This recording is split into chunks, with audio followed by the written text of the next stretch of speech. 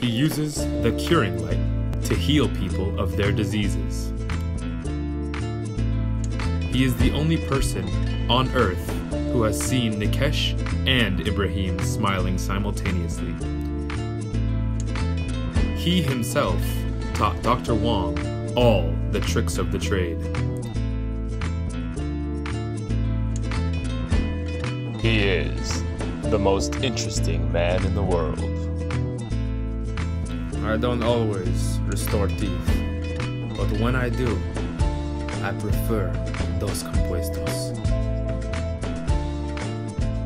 Stay a composite, my friends.